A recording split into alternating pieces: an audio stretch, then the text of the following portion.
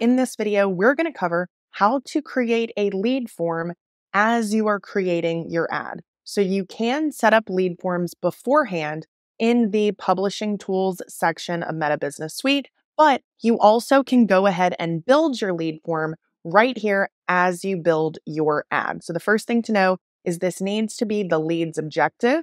And at the ad set level, we would have needed to select instant form in order to get to this screen. So we are now going to the very bottom section of the ad itself, and we're going to see this create form button. So we'll go ahead and create this, and we're going to give this a name. This is buyer 1% cashback rebate.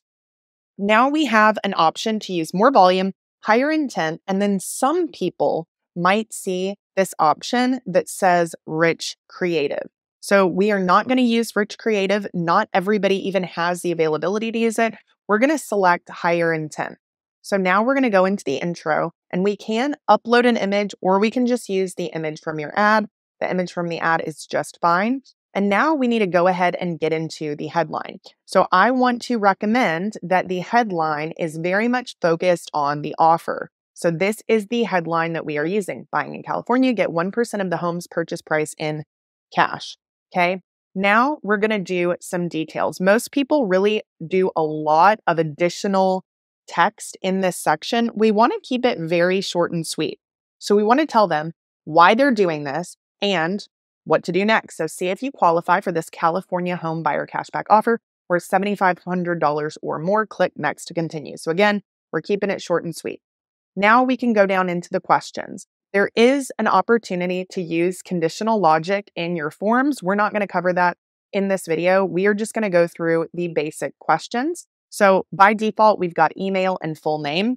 Right here, I am going to do a message that says, please review and edit this info to be your most up to date contact info to claim this offer. So we want to make sure that we highlight the fact that this may not be their most accurate contact info, and we want them to go ahead and edit that if necessary. So we are just going to add email, full name, phone number. We're going to do phone number at the top because that is the most important. And then we have these other options down here. I'm not going to select any of these, but if you need to, you definitely can.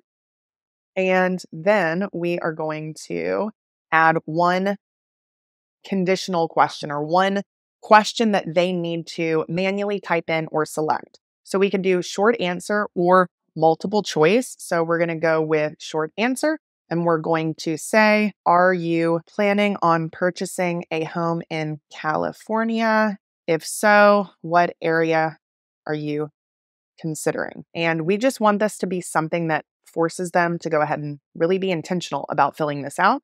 That custom question is going to be on the very first screen. Then we are going to have the contact information. We've got privacy policy. So we are going to do go.igotbates.com forward slash privacy. And this will be privacy policy. You can add a custom disclaimer if you want to, or you can skip it. Then we're going to go through review screen and message for leads. So this screen is extremely important. We do not want to say, thanks, you're all set. So that is what we see by default when we are creating a lead form.